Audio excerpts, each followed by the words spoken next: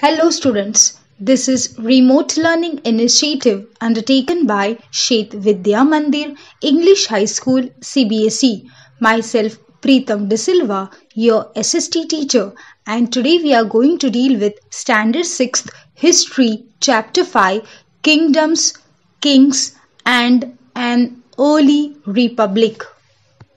Part 4 A Closer Look Magadha. Students, Magadha became the most important Mahajanapada. Rivers like Ganga and Son flowed through it. It allowed transportation, water supplies, and making land fertile. Forest provided wood and animals like elephants. Mines gave iron ore for making tools and weapons.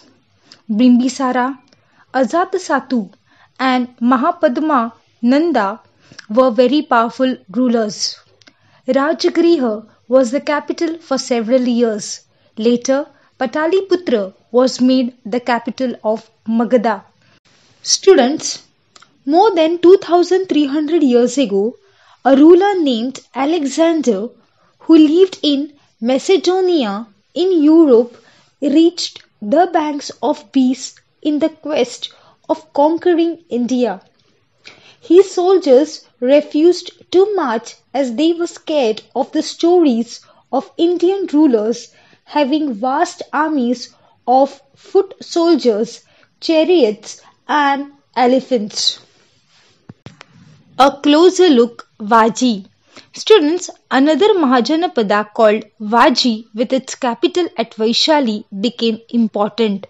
It had a system of government called Gana or Sangha. Students, in Ganas or Sanghas, there were not one but many rulers. Even if there were several men together, it was called a Raja. They performed rituals together.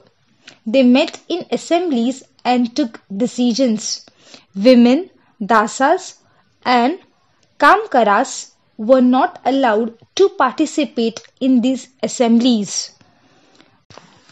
Students, both Buddha and Mahavira belonged to one of these Ganas or Sanghas.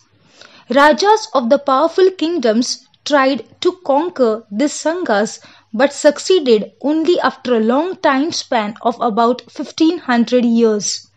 Later, they were conquered by the Gupta rulers.